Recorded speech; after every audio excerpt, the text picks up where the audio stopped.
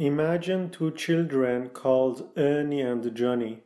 Instead of learning mathematics by doing arithmetic, they were first forced to learn logic and set theory.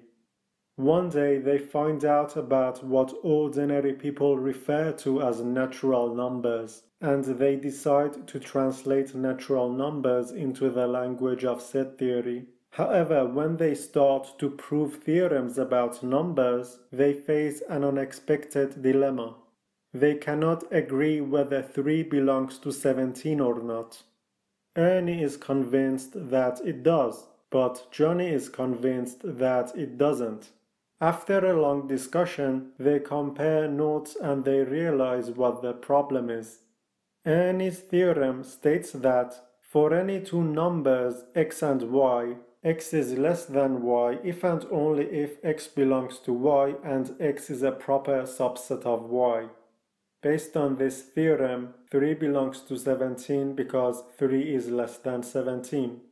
Johnny's theorem states that, given two numbers x and y, x belongs to y if and only if y is the successor of x. Strangely enough, the number 3 is something completely different for Ernie than it is for Johnny.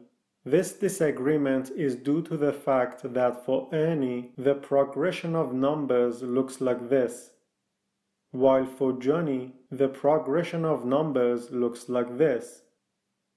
It seems that numbers could not be objects at all, for there is no more reason to identify any individual number with any one particular object than with any other.